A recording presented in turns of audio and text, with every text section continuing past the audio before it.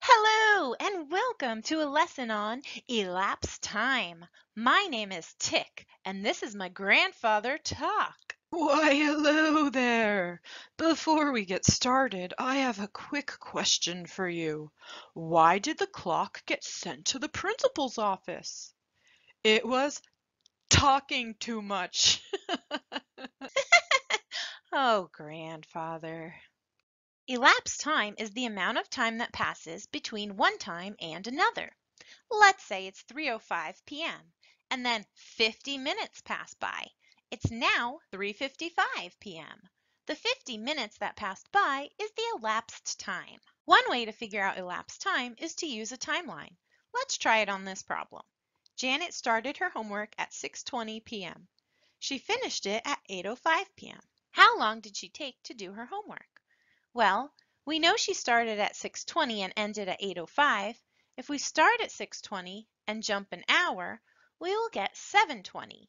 Then we can jump 40 minutes to get to 8 o'clock, and then another 5 minutes to finish at 8.05.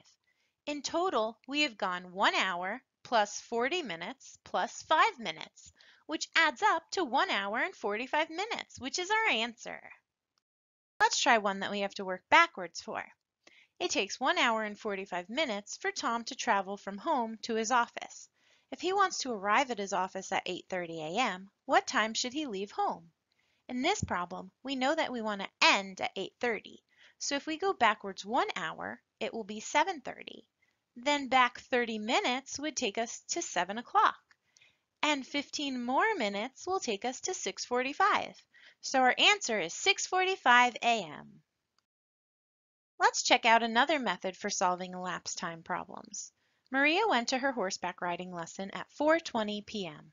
Her lesson ended at 6.15 p.m. How long was Maria's horseback riding lesson? I like to call this the Z method. I make a giant Z. Start at the starting time, 4.20. I need to get to the next hour. That would be 5 o'clock, and it would take me 40 minutes. Then I want to see how many hours it will take me to get as close as I can to the ending time. Well, to get to 6 o'clock, it will take 1 hour. And then to get to the ending time, 6.15, it will take 15 minutes. That's a total of 1 hour and 55 minutes, which is our answer. Thanks for exploring elapsed time with me. Wait, before you go, what does a clock do when it's hungry? It goes back four seconds.